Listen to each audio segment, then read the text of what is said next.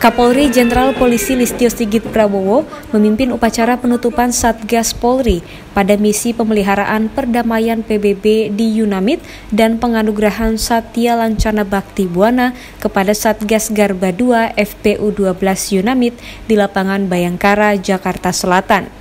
Dalam pengarahannya, Sigit mengungkapkan personel Satgas Yunamit yang telah selesai melaksanakan tugas agar selalu mengembangkan profesionalitas, membagikan ilmu pengetahuan, dan mengimplementasikan pengalaman yang diperoleh dalam rangka menghadapi tugas kepolisian ke depan yang semakin kompleks.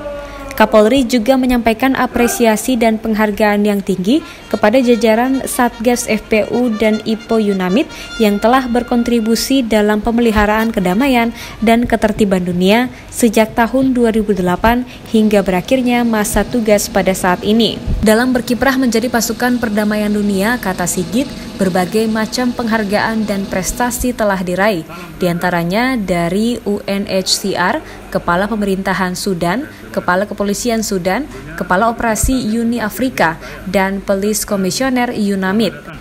Dalam hal ini, Sigit menyatakan personil FPU dan IPO telah membawa harum nama bangsa Indonesia di kancah internasional dan mendapatkan apresiasi positif atas peran aktifnya dalam menjalankan misi pemeliharaan perdamaian PBB.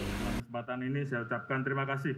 Tentunya dalam kesempatan ini saya ucapkan terima kasih dan apresiasi kepada seluruh personel Satgas Garba 2 FPU 12 Yunamid atas kerja keras rekan-rekan dedikasi, dan loyalitas sebagai duta-duta Indonesia di luar negeri, khususnya Duta Polri, dalam menjalankan misi perdamaian internasional selama kurang lebih satu tahun empat bulan.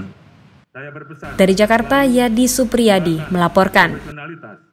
Membagikan ilmu pengetahuan.